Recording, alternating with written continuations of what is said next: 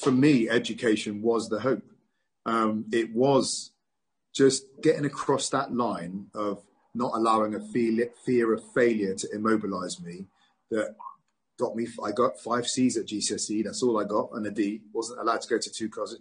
Got me into my a levels where i decided to do my best whatever got me to university. And that was the gateway to me escaping escaping the circumstances of my birth i, saw the the felling of the statue as historically poetic uh, you know a, a slaver involved in the kidnap of 80,000 people 20 um, 18 to 20,000 of whom would have died been thrown overboard of the ships for the sharks en route um, being rolled through the streets was a, a phenomenally symbolic act um, uh, for the, the city and, and the country. So um, I don't take away from that. But as I shared, my concern was unless you attach that to real policy, um, you end up just feeding on symbolic acts. And that leads to cynicism in the end because fundamentally things don't change.